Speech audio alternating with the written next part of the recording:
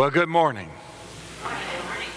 It's a delight to see you today. It's a lovely day. Isn't it a great day for the Lord Jesus to come back? Wouldn't that be wonderful? She just sang about it till my raptured soul shall find rest beyond the river.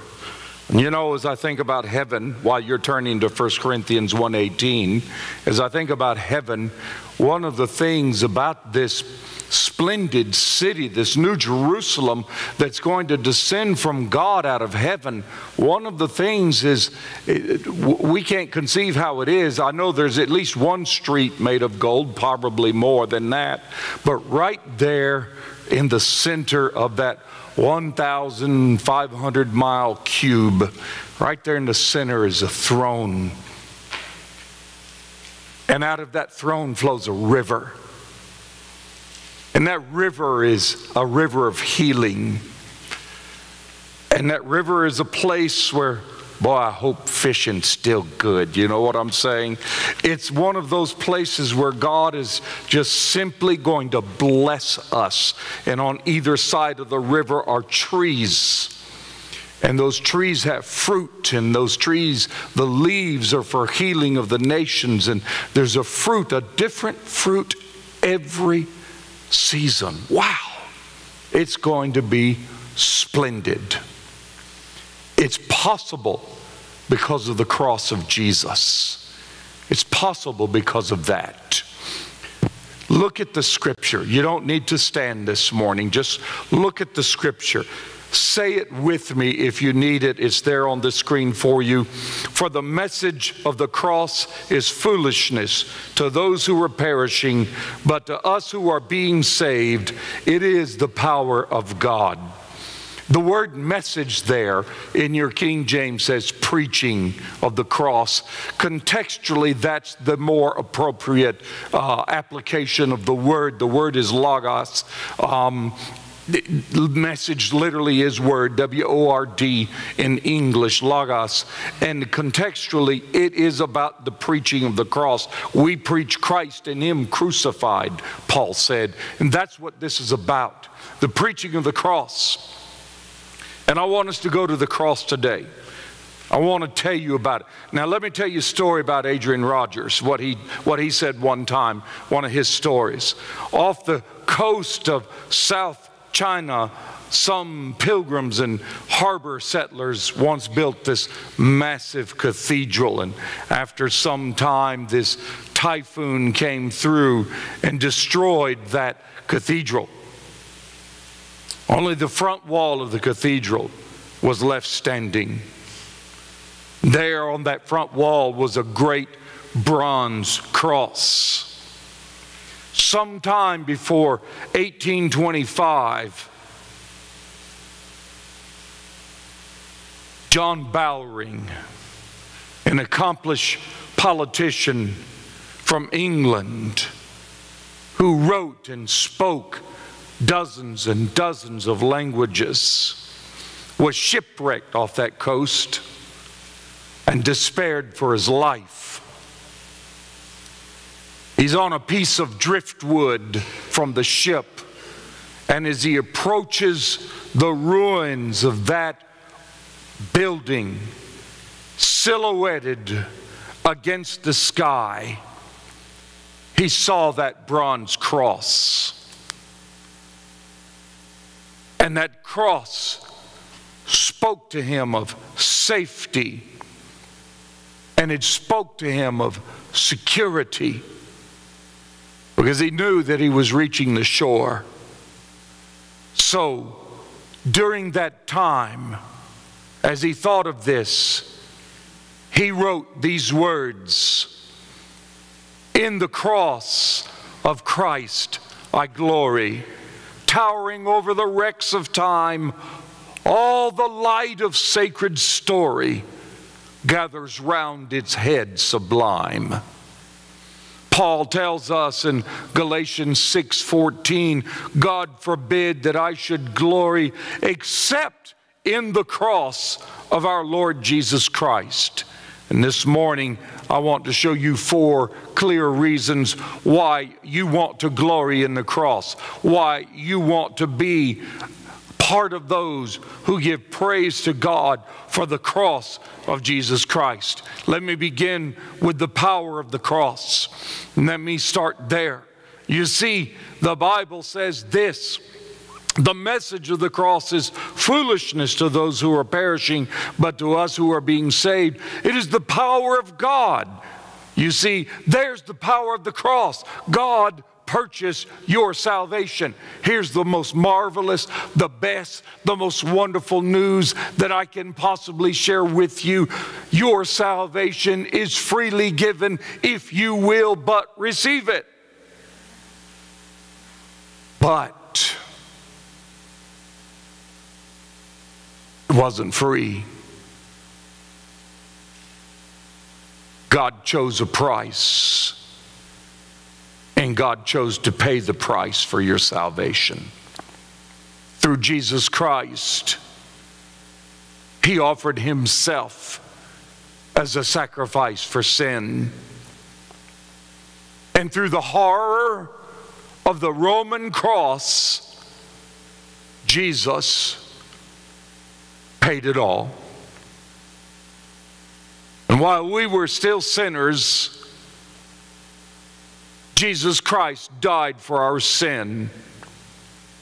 And there at Calvary, probably outside the original Damascus gate to the northern part of the city, according to some scholars, Jesus was nailed to that wood. Alfred Edersheim wrote in his commentary on this in the life and times of Jesus the Messiah, they took long nails spikes, if you will.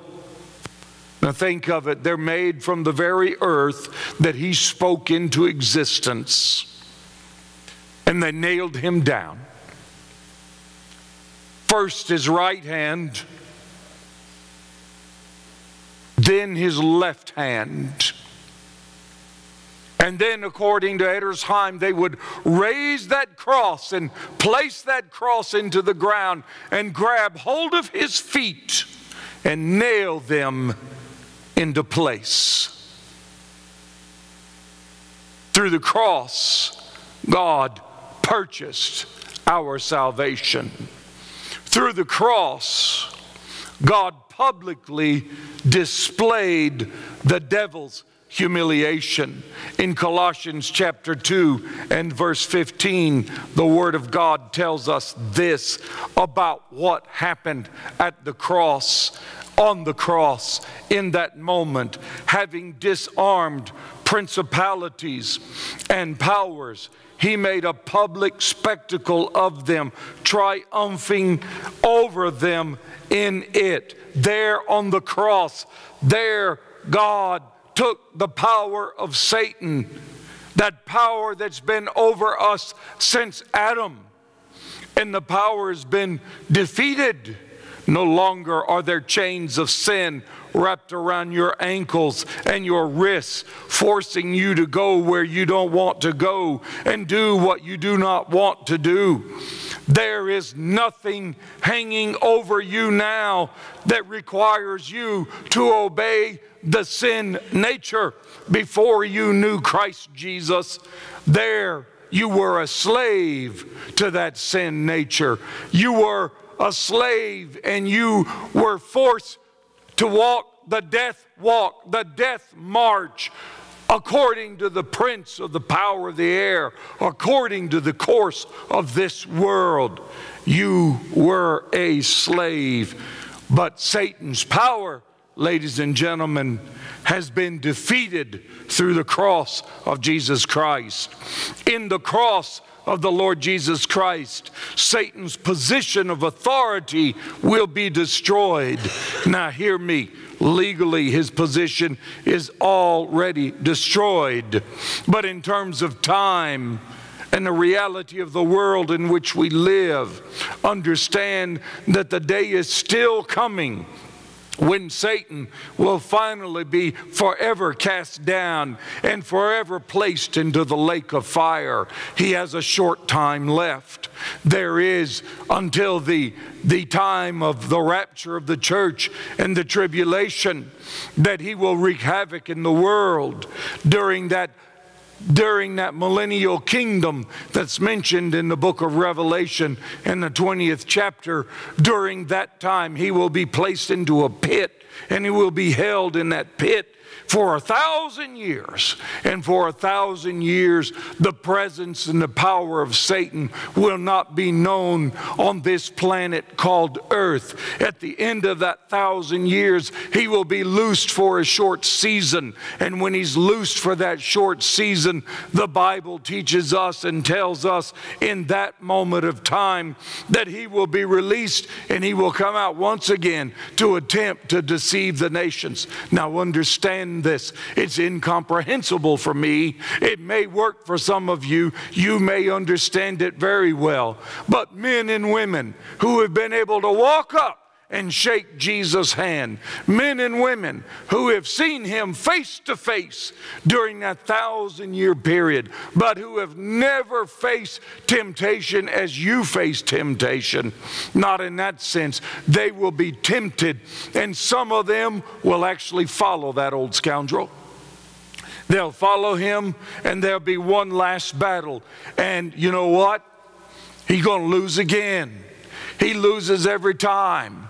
But yet he's going to try one more time and he's going to lose yet again. And then he'll be cast forever and ever into that lake of fire that burns with uh, uh, sulfur and, and brimstone. That horrible, horrible place. His authority has been destroyed in the cross, Satan's permission to have a place in your life has been taken away. This is why Paul says in Ephesians chapter 4 and verse 27 do not give place to the devil because he no longer has permission to be in your place. He no longer has permission to be in there in your life. It's been taken away. May I ask you a question? Please answer me honestly. Would you rent a room of your house to a scoundrel, to a thief, or to a liar, or to a robber, or to a murderer? Would you do it? Would you dare do it? Would you take a room of your house? Would you set up on the back part of your lot a mother in law suite, except a Satan in law suite, and let him sit back there on the back part of your property? Would you do it? Of course, you wouldn't do it. Then why would we possibly want to rent one space of our heart to that old serpent, that dragon, that enemy of God called Satan. Why on earth would we do that? He has no authority to be there. He can only be there now by your express permission that's the only way he can be there. And if he's bothering you, you let him in. My, the power of the cross and what it's broken. Oh, let me hurry and tell you about the peace through the cross. The Bible tells us in Colossians chapter 1 and verse 20 that the Lord God made peace made peace through the cross of the Lord Jesus Christ. Listen to the word. And by him, by Jesus, he reconciled all things to himself. By him, whether things in, on earth or things in heaven, having made peace through the blood of his cross. What a Savior! We were enemies of God. Friendship with the world, ladies and gentlemen, means you're fighting against God. You're at war with God. You say, well, I don't, I'm not friends with the world. I just made peace, you know. Peace with the world means you're positioned against God. There is no such thing as neutrality when it comes to God and the world. No man can serve two masters. No one can. There is no laissez faire when it comes to God and the world. It's not there. It's not for you. You can't have it. You're either an enemy of God or you're a friend of God. An alliance with the world is an alliance against God. We were enemies, but we were also excluded from the promises of God. I can't tell you how many promises there are in the Bible that will apply to us. There are more books written about that than you can shake a stick at. You could fill up a, an entire shelf on a library about the promises of God. All the people that's written books 10 promises, 100 promises, 1,000 promises. They tell you over and over how many promises of God there are. I don't know how many apply to us. I've never sat down and, and uh, counted that. I just know when I find them, it's dear and precious. Amen. I do know this. Until you know Jesus Christ, there are only certain promises that you can claim. And those are the promises that you that tell you about being saved. John 3:16 is a promise for you if you don't yet know the Lord. Uh, God so loved the world that he gave his only begotten son that whoever believes in him should not perish but have everlasting life. Romans 10:13 is your promise if you don't yet know the Lord. Whosoever shall call upon the name of the Lord shall be saved. Acts 16:31 shall be yours is a promise promise. You know, believe on the Lord Jesus Christ and you shall be saved in your house. Those are your promises. Because until you come to the cross and until you meet the Lord at the cross, no other promise is yours except the promise to be saved. The only thing you are waiting for at that time is the executioner's arrival. John 3:18 tells us that he that believes not is condemned already, but he who believes is not condemned. Romans 6:23 says, as you well know, the wages of sin is death. Every person born into this world is stained, indelibly marked by Adam's sin we have his nature. And we are all one heartbeat away from eternity. Now, it's either eternity with God through Christ, or it's eternity in hell, prepared for the devil and his angels. Old death waits over on one side, wondering if you're going to be the one that he'll be called to take today.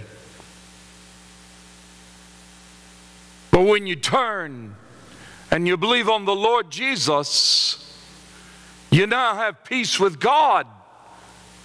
You have no reason then to fear old death. He can't hurt you. He can't hold you. He may touch you and bring to you that, that power that He has called death. But the angels of God will take the believer and escort that believer right into the presence of Almighty God. We're only waiting the executioner's arrival until we know the Lord Jesus Christ. But there's also a perfecting work of the cross. And the Bible tells us again in Colossians chapter 2, this time in verse 14, the Word of God says this to us about what Jesus did on the cross. Having wiped out, this is what Jesus did at the cross. He wiped out the, the handwriting of requirements that was against us, which was contrary to us. He has taken it out of the way, having nailed it to the cross. What a mysterious verse. What has He done for us? The Bible Bible teaches us, ladies and gentlemen, the saving work on the cross. The Bible teaches us that just as Moses lifted up the serpent and in the wilderness, and those who looked at it were healed, the Son of Man must be lifted up as well. And those who look to the Son of Man, to the Lord Jesus, will be saved. Colossians, uh, 1 Corinthians 1:18 says that the cross is the power of God to those who are being saved. That's a more literal rendering of the passage of Scripture. You see, here's how it's written. Here's how we need to understand. You know this already. Just a simple reminder. You were saved at a point in time. If you've repented and believed on the Lord Jesus Christ, you were saved, weren't you, Lane? I mean, that's the truth of the Word of God. You are saved, present tense right now, and then comes the day that you will be saved. This old body that gives you so much trouble, this old body that when I woke up this morning, Dale, it said, What do you think you're doing?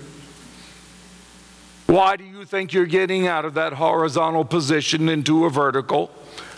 I don't want you doing this kind of thing. Y'all know what I'm talking about. If you don't yet know what I'm talking about, trust me, it's on its way.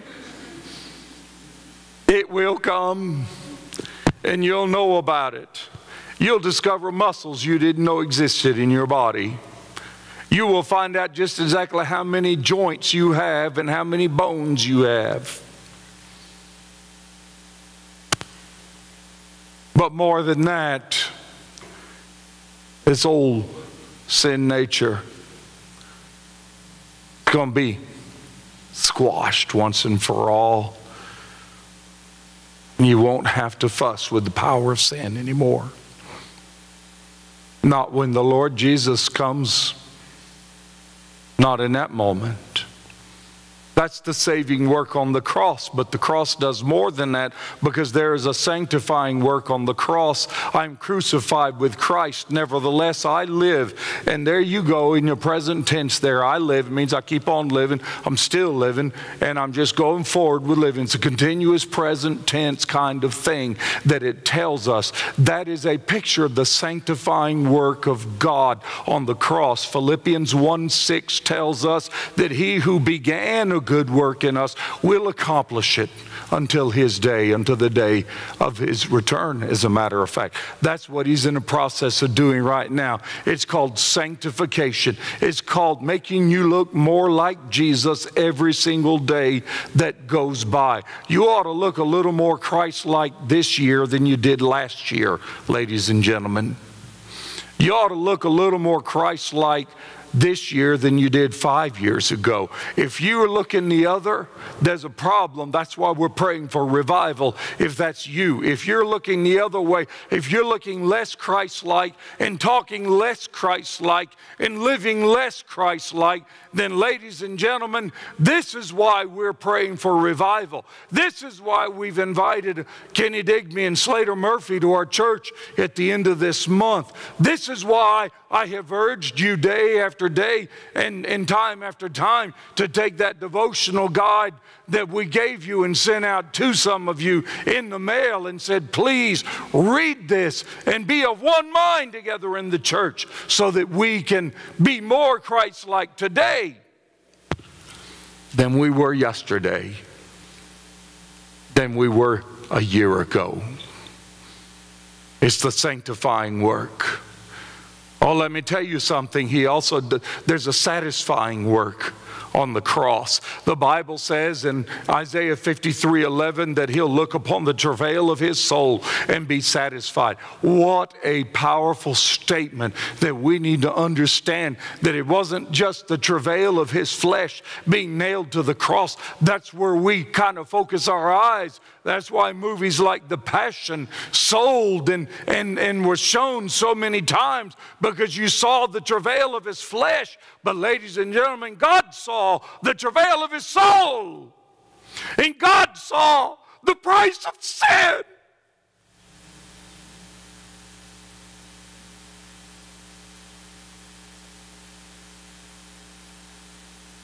Yours, mine.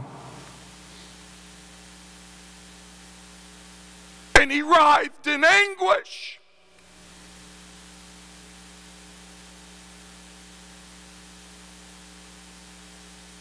You.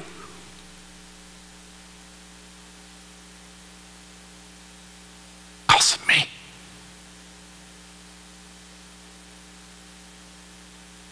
That doesn't move you. God have mercy on you. If you're unmoved by what Jesus did, if you can't weep for the cross, your heart is stone.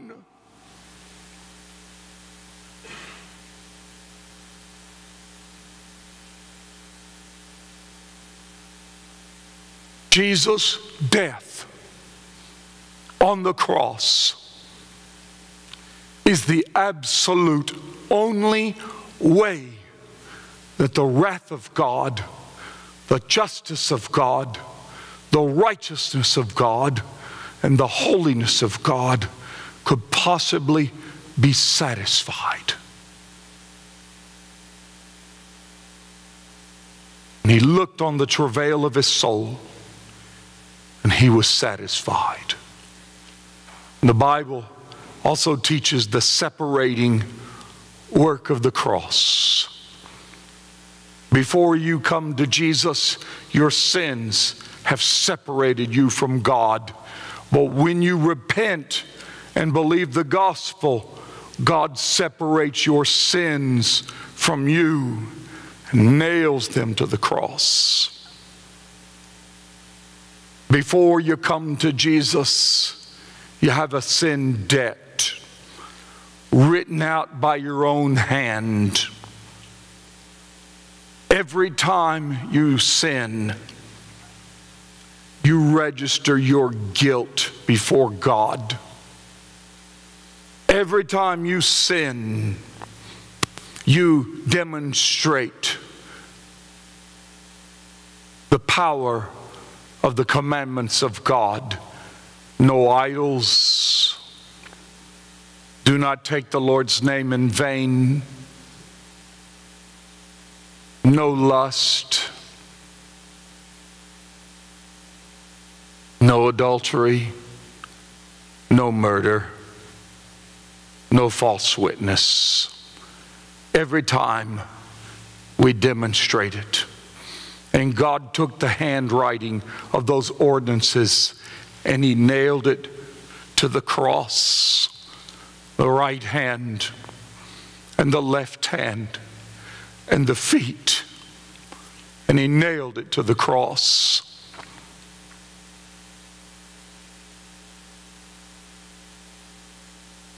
And He abolishes the handwriting against you. The word is autograph. You know what an autograph is? It's your own signature. We were in a meeting, Lima, Pam, at Agua Viva downtown. You remember? And the singing churchmen were there. Came back out to the bus now, we had more than one bus, and Pam got on one with one group. I was surrounded by members of the church holding out their autograph books and their Bibles. Please sign this. I didn't realize that people are out. The, the singing churchmen were on the bus taking pictures of me signing autographs. And something, a lot of them didn't know who I was. They're saying, Who is this guy? Everybody wants his autograph. Every time you sin, you autograph. You're writing it out yourself. It's your own hand. And so, if you don't come to Christ, when you get to heaven and God opens the books, He says, Is this your writing? Carolyn, is this your writing? I know you know the Lord, so I'm using you, okay? Well, I don't know. I only know if I know the Lord or not, but your testimony says you know the Lord, okay? That's what I'm going by. Carolyn, is this your writing? Is this yours? Well, it looks like it. Yeah, it's your right. Let me show you when you wrote this. Let me show you when you did this. But at the cross, he wipes it out, he abolishes it.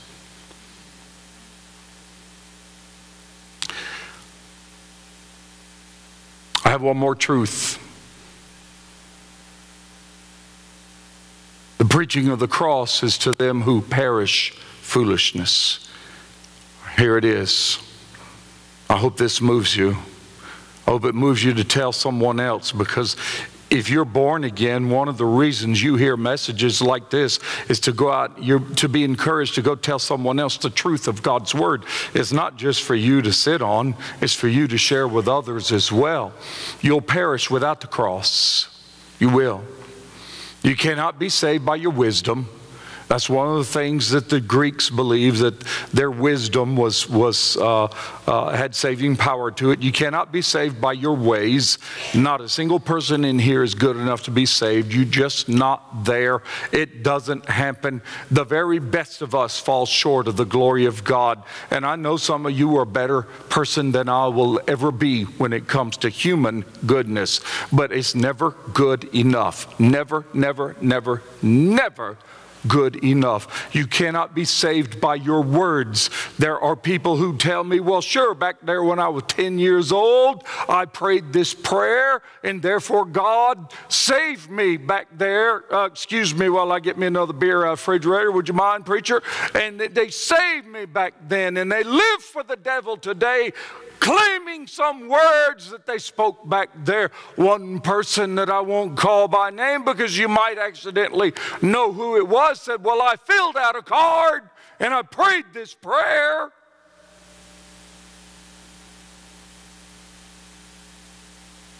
If that's you, ladies and gentlemen, you need to repent today.